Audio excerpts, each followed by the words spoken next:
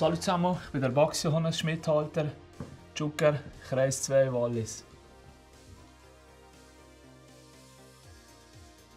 Ja, äh, ich kann mal unten durch. Du musst einfach so an Dave anfangen. Am Anfang musst du halt Kaffee wechseln, äh, also die Kaffeemaschine bedienen, musst Kaffee rauslassen für die Kollegen. Du musst unten einsteigen, aber ich habe schon immer grosse Ziele würde ich sagen. Mein größter Erfolg ist sicher die Verhaftung vom Rappa für 10 Jahre mit 50 Tonnen Hanf. Das haben wir das bisschen verwitscht. Das ist ein Bauchgefühl. Ich hatte das schon immer. Gehabt. Schon im Kinogart habe ich gewusst, dass die Valerie auf mich abfährt und so. Ich habe einfach immer ein, ein gutes Gespür für, für so das Zwischenmenschliche, für Gefühle von Menschen. Und äh, das ist natürlich auch bei Kriminalität. Also ich merke gerade, wenn so etwas am Laufen ist, wenn jemand nervös ist, nur ein bisschen. Ich, spüre so Sachen. Geht's noch gut?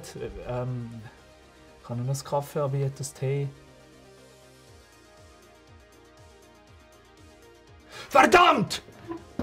Sag mir jetzt, was da gelaufen ist! Stay young, stay full, stay animal. Weil du musst auch, Tiere können ja die Gefühle nicht so ausdrücken wie wir Menschen. Und das musst du euch auch als Polizist. Du darfst die, die Gefühle ab und zu nicht zeigen.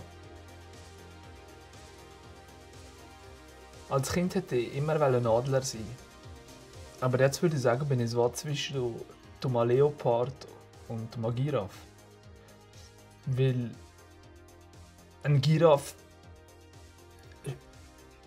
kann, kann wirklich streben nach dem ganz Grossen. Und hat auch einen langen Hals.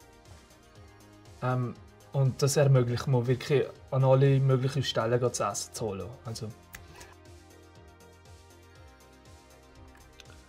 ähm,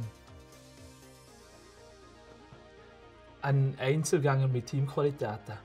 Ruhe bitte! Ich mache ein Interview, bitte! Kann ich jetzt schweigen, bitte? Ich habe gehört, wir können das Zeittest streamen. Meine Mama hat aber auch einen Streamer daheim. In der Küche. Bitte. Machst du immer feine Sachen. Auf? auf Sky. Das ist aber so ein Streaming-Anbieter. Da kann man es im Fernsehen oder im Handy oder überall auf dem Tablet, überall, wo man Streaming hat, kann man das schauen. Ja, die Gerda. Hallo Gerda. Ähm, ich bin im Fernsehen. Und meine Mama auch noch gerne.